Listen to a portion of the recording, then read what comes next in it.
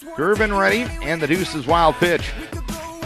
Off speed and a little drop action to it, and Wyman down on strikes. Gervin ends up striking out the side. Cole 15th, Luther 9th, Simpson 12th, and the rise ball takes care of Newman.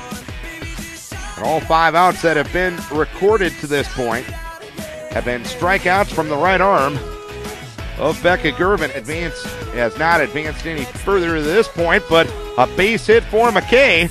Weindruck heading to third, and she will get there ahead of the throw. Number three, down the right field line. Smith making a nice running grab in foul territory. Up the middle, off the glove at second of Kaiser.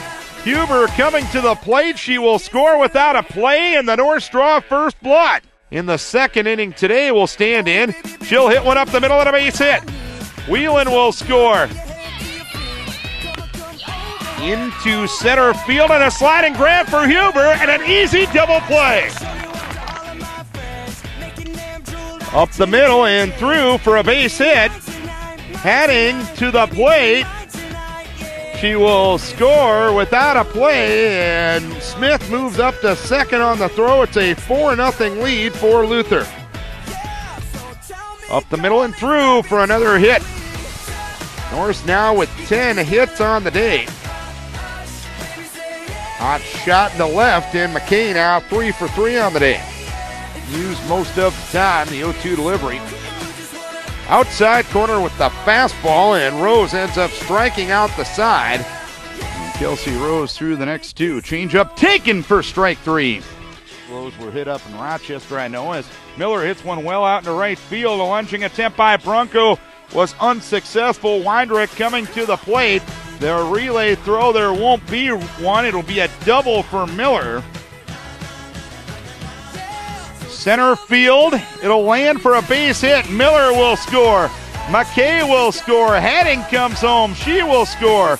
A bases clearing double by Huber. So the runners at the corners and one down. Squeezes on for Wartburg, and Franklin applies the tag.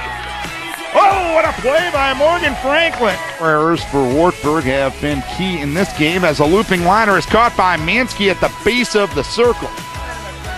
1 0. McKay hits one deep to left. Ball game.